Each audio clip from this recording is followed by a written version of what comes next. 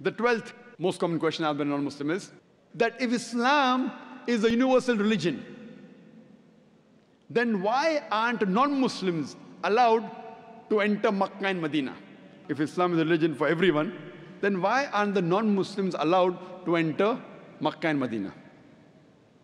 The reply to this question is, every country has certain areas which are called as cantonment area. Cantonment area means only the military and the people who are involved in the defense of the country allowed. Though I am a citizen of India, I am not permitted to go in the cantonment. I cannot say, I am a citizen of India, why am I not allowed to go in the cantonment area? No. Only those who are involved with the defense and the protection of the country, they are allowed to go in the cantonment area. Similarly, Makkah and Medina, both the Haramain, they are the cantonment areas of Islam. So only those who believe, love, and are willing to die for Islam are allowed to enter Makkah and Medina.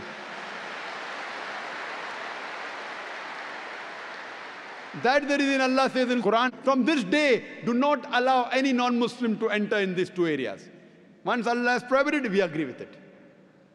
The other reason is that whenever you enter a country, whenever you want to visit a country, you have to first obtain the visa. No visa means you cannot enter the country. And one of the most difficult countries to get visa is USA. So they ask you so many questions. And nowadays they ask you, are you a terrorist? As though anyone will write yes. I want to ask the American government, has anyone written yes? Do you belong to any terrorist organization? Ajib. I want to ask them, has anyone written yes so far? Yes, I'm a terrorist. Yes, I belong to terrorist organization. They have so many questions. So you have to fulfill the requirement, otherwise they won't give you visa. And I had gone to Singapore the first time in 1986. And it was mentioned in the immigration form, death to drug traffickers. Means if you're caught with drugs, death penalty. You can't say, oh, death penalty, very barbaric law. If you want to enter Singapore, you agree with the law, otherwise don't enter. So if you want to get the visa, you have to agree with the law of the land.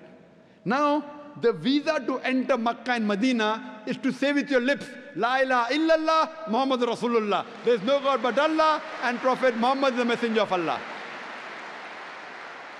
If any human being says with his lips, La ilaha illallah, Muhammad Rasulullah, he can get visa to enter Makkah and Medina.